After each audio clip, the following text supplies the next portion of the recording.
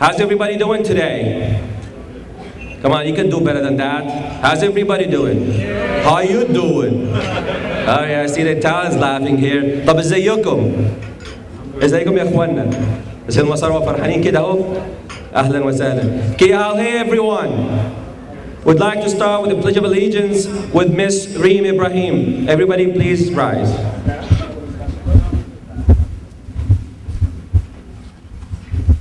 Pledge allegiance to the flag of the United States of America and to the republic for which it stands, one As I look around, I see many familiar faces. I also see new faces, and I see the FBI in the back. I think my phone will be tapped after this event. We have about 500 people registered for this event. We have senators, congressmen, attorney generals, U.S. attorney, county executive, county sheriffs, county prosecutors, freeholders, homeland security, mayor and council, deputy mayor, community leaders, clergy, law enforcement, and of course we have the community. I feel so safe. I'm truly humbled and honored to share this platform with the most respected politicians, friends, teachers, and mentors. Thank you, AMU, for giving me this opportunity. I'm glad you're here and I'm pleased to host you and all of our diverse community in Teaneck, New Jersey for our 18th annual community brunch. This is going to be a great day. Thank you for your attendance. Over the next couple of hours, we continue with our commitment in delivering the best, most focused event developed specifically to meet our collective needs. Sit down, relax, and enjoy the event. We're going to have a blast. Not that kind of blast. For those who are attending for the first time, I'd like to give you a brief history about the AMU. Our president and founder, Mr. Yunus, had a dream. The dream is to empower and strengthen American Muslim while embracing our values and culture and assimilate into American society. Also, I'd like to talk a little bit about the AMU event. With this event, a large group of people across our AMU organization have worked very hard to ensure you have the best event possible. Our directors, our board, subject matter expertise, and of course our lawyers and our volunteers to create this event. This event takes about four months to come to fruition. So imagine the amount of work these wonderful people put in. Before we begin, I'd like to start with some rules. Number one, I'll start with a disclaimer.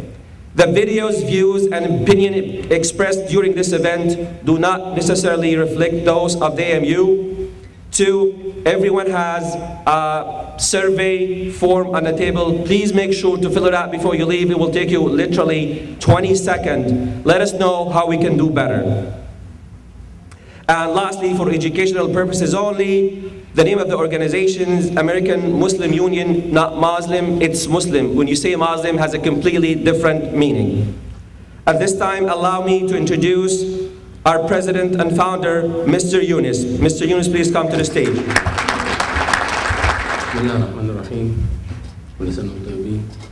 I really uh, want to wish um, and, uh, everybody here in this room the best. This has been a great event. We've been doing it for quite a bit. And it's been uh, not easy to do. And I started this year to do something different. I start getting the new generation to take over. And I say, you're gonna run it, and I'm just gonna watch. You, because now I'm getting a little, little younger, and uh, you wanted somebody to carry on and to keep to keep this beautiful organization going. And that's what I decided to do. And uh, first, I would love to introduce this new group to you guys. Come on. So at this point, our president would like to introduce the new members of the AMU.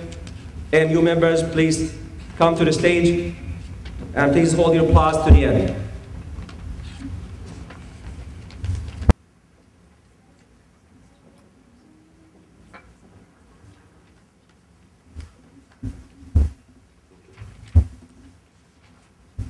Start with Dr. Mustafa Ahmed. He's the vice president.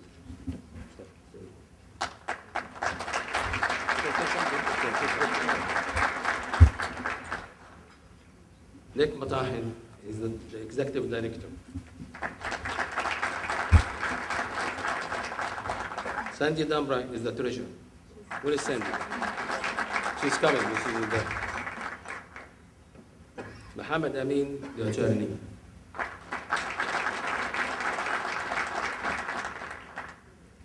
Khalid Bagawish, the attorney. Huda Ismail, the out, out, outreach director. Muhammad Kamil, IT director. Mubin Sheikh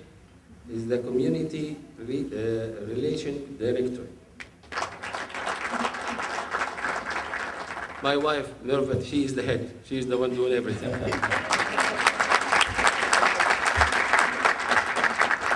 well, She's the worst of me. yeah.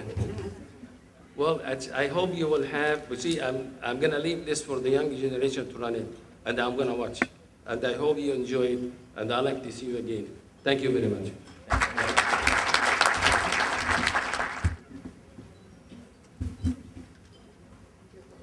Thank you, Mr. Yunus.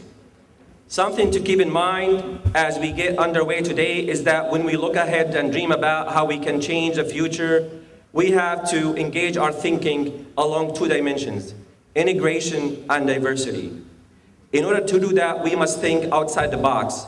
We have to think about the adjacent possible. And by that, I mean we have to look into the untapped potentials of the community. With this, I'd like to play a little video. It's an inspirational video. Let's go to the video.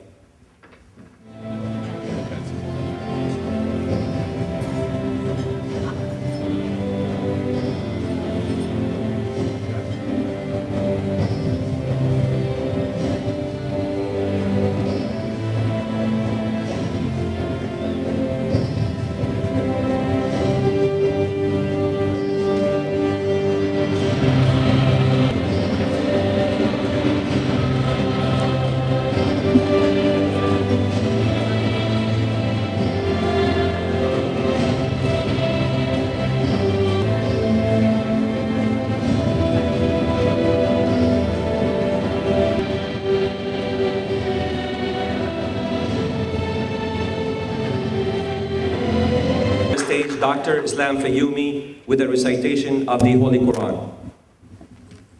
Dr. Islam Fayoumi.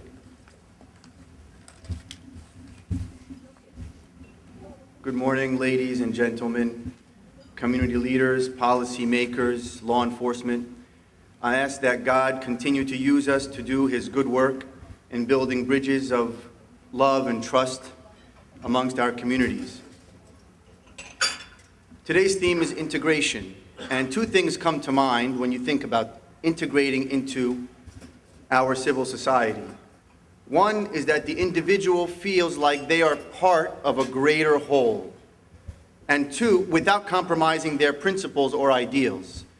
And two, that they give back to society the best of what they have to make the, this country greater. So I chose two verses from the Holy Quran which speak to that or reflect that kind of uh, idea about integration. The first is in chapter 60, verse 8, and the second is in chapter 2, chapter 2, verse 92. Just a little context because it is important. In chapter 60, God warns the Muslims not to lose their principles, not to lose their values, to maintain their beliefs. Someone could take this and go the wrong way with it and seclude themselves from society and run away from others who are different than them in their ideas, in their values, in their beliefs. But God, who knows all things and who created us and knows the wrong tendencies of his creation, warned us not to do that and said, integrate yourselves into society. Not just that, be just. Not just that, be good. And give back the best of what you have. So let me begin the recitation in, the traditional uh, way first, which is to add a melodious tone to God's words. and then I will translate them in English. Inshallah.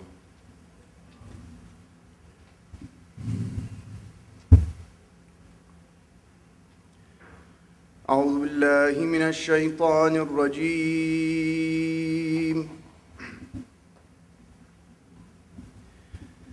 بسم الله الرحمن الرحيم.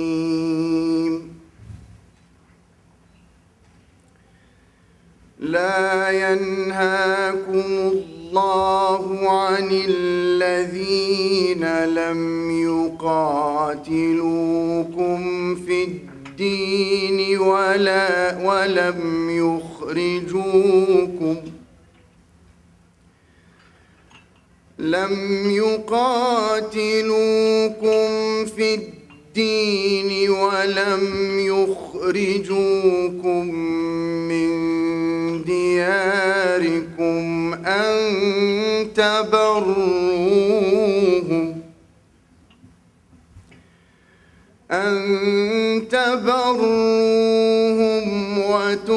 وتقسطوا إليهم. إن الله يحب المقسطين.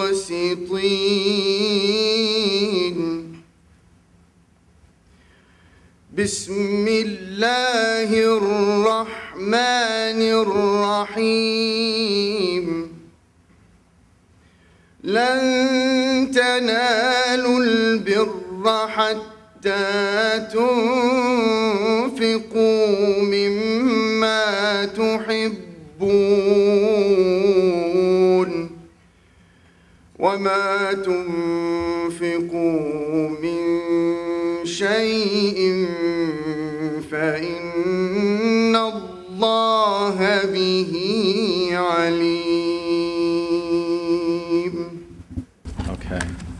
Thank you all again for being here. We are all aware of what the Southern Poverty Law Center calls the year of hate.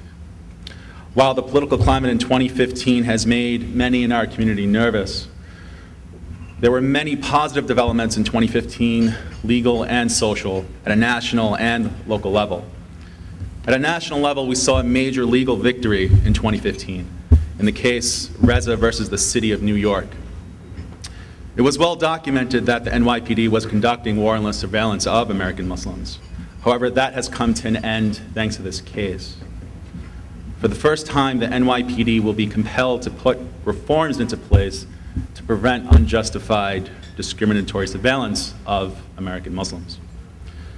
At a national level, we've seen many acts of solidarity from non-Muslims, uh, most notably from President Obama. In Maryland, President Obama's historic visit to a mosque was about his solidarity with American Muslims to combat prejudice. In Massachusetts, Chief of the Supreme Judicial Court, Justice Ralph D. Gants, attended the Islamic Society of Boston. There, he said to his audience, the, the most relevant portion of his speech, he said, I am here to assure you that you do not stand alone. You have a constitution and laws to protect your rights, to practice your religion, to protect you from discrimination, and to protect you from acts of violence that may be committed against you because of your religion or your nation of origin. And without any question, the same principle applies here in New Jersey. In Illinois, a professor at Wheaton College, Ms. Larycia Hawkins, risked her job to wear a hijab as a sign of solidarity with American Muslims. During the wave of anti-Muslim rhetoric in December, Ms. Hawkins, a practicing Christian, said theoretical solidarity is not enough. There were, of course, acts of courage among Muslim Americans, most notably from Rose Hamid, who wore a sign with the word Muslim on a yellow star at a Trump rally in defiance of Mr. Trump's statements at that time. The point of this is that when we saw acts of violence, when we saw acts of hate and exclusion and bigotry, Muslims and non-Muslims responded with acts of love, courage, and solidarity. And maybe that is the way forward. It's satisfying to be reminded that we are equal under the law, and, is, and it is humbling and moving to know that people are working for equality, acceptance, and integration in New Jersey. Just to give you one example of a local achievement, uh, we have members of a nonprofit organization, the New Guidance Center, that added Eid to the Paramus School Board calendar. It was not easy for them to do, uh, but with their sacrifice, they invested their time into understanding how things work, into building relationships.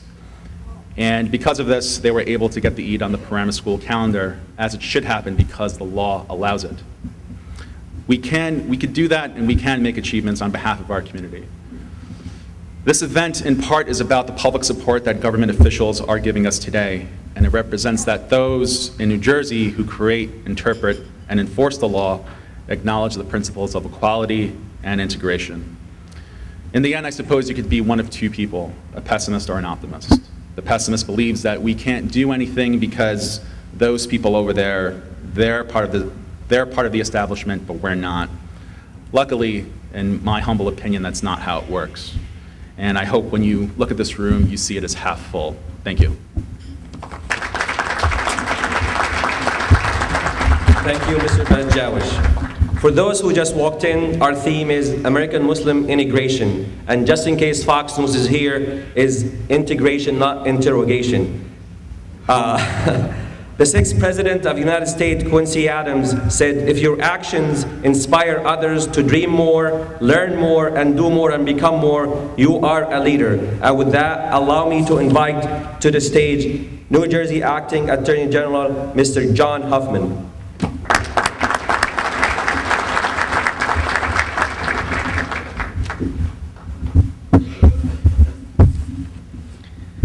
Thanks, Nick.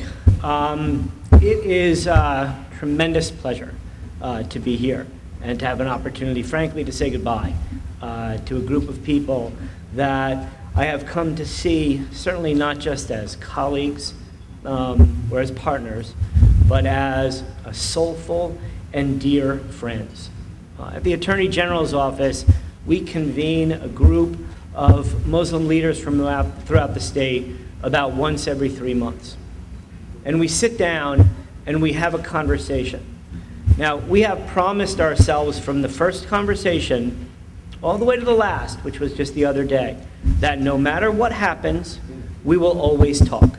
We'll always talk about the most difficult issue, and we'll always talk about that issue first. The first meeting I was at, we talked about the NYPD spying issue, and the last meeting I was at, we talked about the difficulty facing the Muslim community in light of statements that were made during the Republican uh, primary campaign.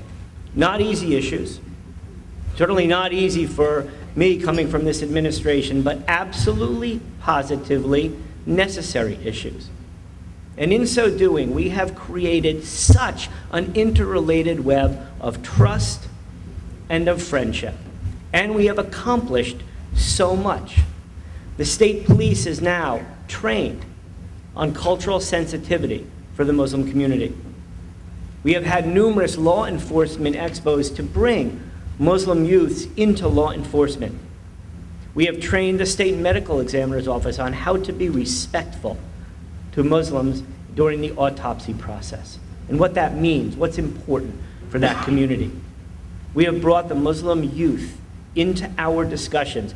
And I'll tell you, that was one of the single most inspiring things that I have been part of with regard to this conversation. Because I thought the conversations were difficult with the Muslim adults, and wow, they were tough with the Muslim youth. And they were great. What an unbelievably inspiring and educated group.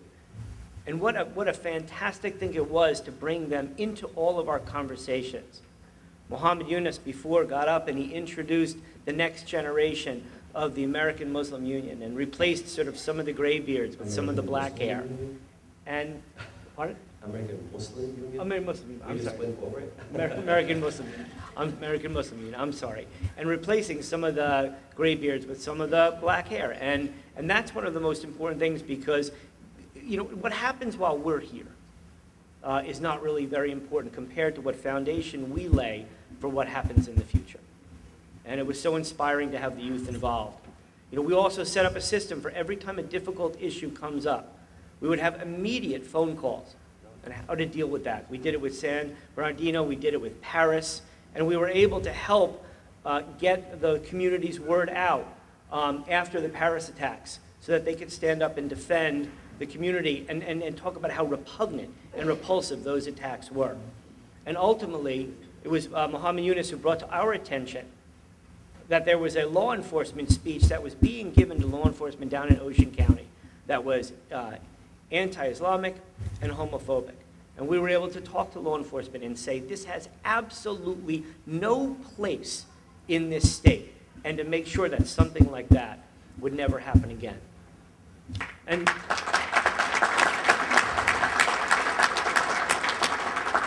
And in those conversations, I certainly have demanded a lot of the Muslim community. A lot. But I have also demanded the same from other communities. I sat down at a meeting of Jewish leaders a couple of weeks ago, and they gave a presentation. And after the presentation, they asked me to give a response, and my response was, What are you doing to take leadership and bring ties closer to the Muslim community? That was what was important to me. And I got a response back a week later that said, we, as the Jewish community, are going to stand up and push Dr. Chaudhry's pledge. Because that's what we need to do.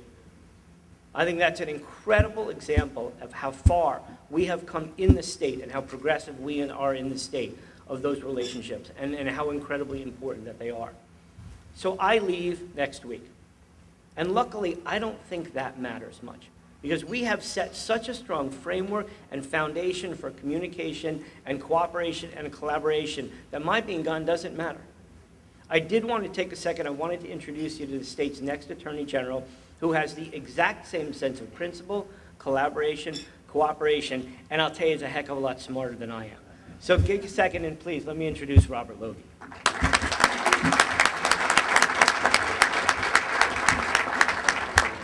Hi, good morning. I just wanted to say uh, thank you to the Attorney General Hoffman for developing such a strong relationship. And it's a relationship that the entire department uh, incredibly values.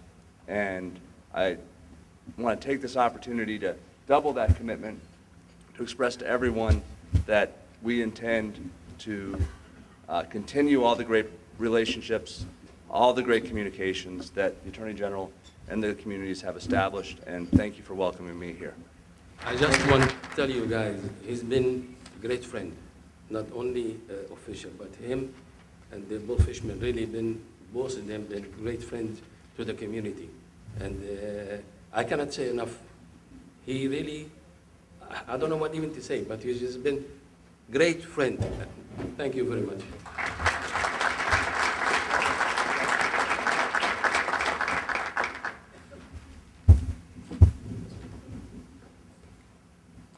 Eleanor Roosevelt said, and I hope Donald Trump is listening to this, great minds discuss ideas, average mind discuss event, and small mind discuss people. In your face, Donald Trump. Allow me to call to the stage Congressman Bill Pascrell. Bill Pascrell, everyone.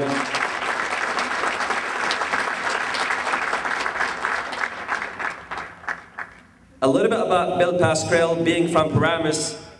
Bill Pascrell was a high school teacher for 12 years in Paramus, and I see many folks in Paramus here. I see the superintendent, I see some council people, and I'm hoping the mayor will show up in a little bit. Everybody, Bill Pascrell. Thank you. Good afternoon, everyone. Many of us have uh, come every year. We feel enlightened when we leave, and I'm so gratified to see so many. I remember when we first started, there weren't this many people here, because people were, let me use this word, Bob. people were a little reluctant to come to this event and did not understand how close and associated we are, whether we like it or not. So this is the great country that I grew up. in. And I grew up in a great neighborhood in Paterson, South Paterson. I know it like the back of my hand. There were no Italian restaurants in South Paterson. And of course, I'm 100% Italian. There were many Mideastern restaurants. And while a very different situation today where every storefront has Arabic, it was very different then. Yet, I ate more Arabic food, particularly Syrian and Lebanese, than Italian food. This is a great country. Anybody who says we're going to make America great again doesn't know what in God's name they're talking about. Madison, when I grew up, everybody lived from all over the world. I had that advantage. I had the advantage of my mom and dad teaching me be a bridge builder because any donkey can knock down a barn. And so I'm happy and honored to be here today. The first time I visited the Golan Heights, it looked down into Syria and the road to Damascus. Something happened that afternoon, and I was mesmerized. It wasn't simply because I had had a glass of Golan wine an hour before, but I was mesmerized. It echoed through the valley. The next time I went to the Golan Heights, last summer, during war, I looked down from the very same place I had been in the first time I went to the Golan Heights years ago. And all you could, you see powder smoke, a burst of powder smoke, silence, and then boom, the Syrian civil war. What a difference. What a difference. Our brothers and sisters in Syria reach out. They need us. Those millions of people who've been dislocated. It's easy to talk here. Very easy to talk of charity. It's another thing to make the step, do something to help these little kids who have nothing, the clothes on their back.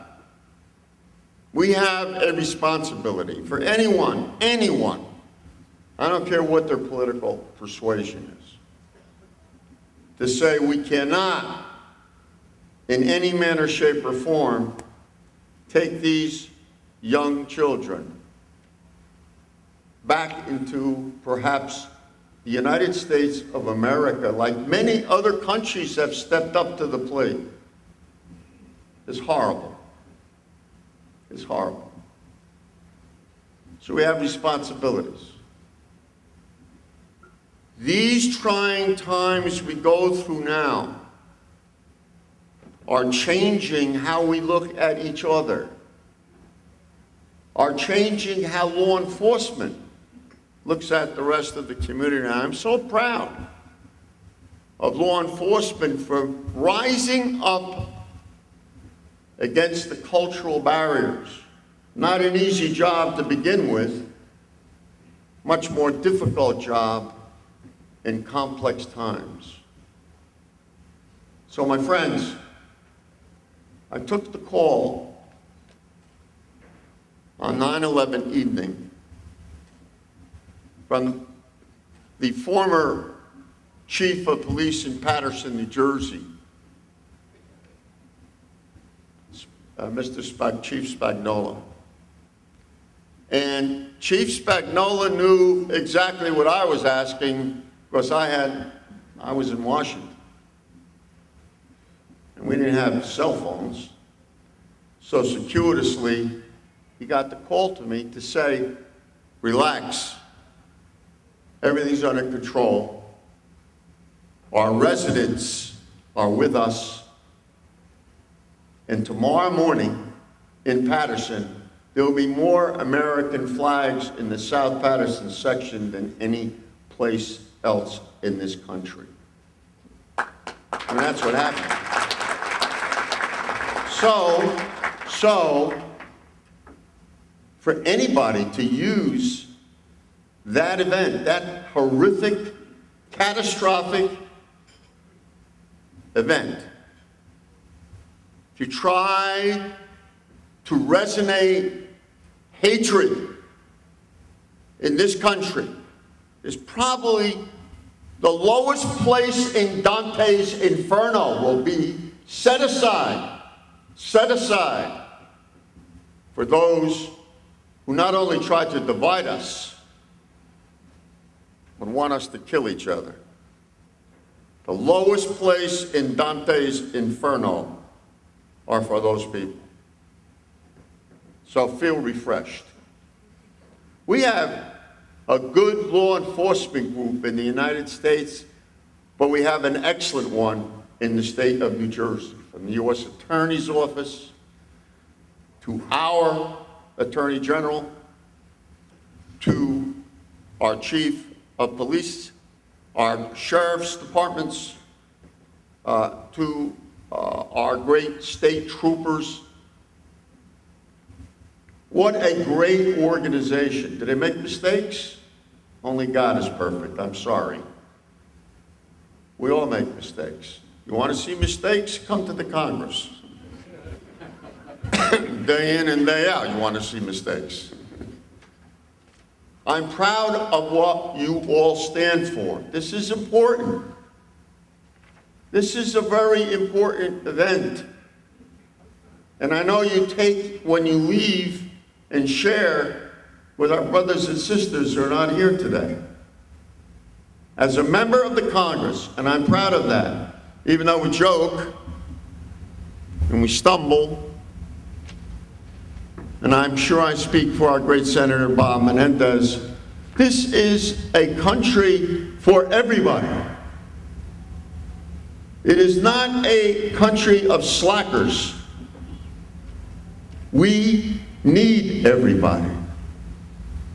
And every religion is important to the dynamic of this greatest of all nations. God bless you. God bless the American Muslim.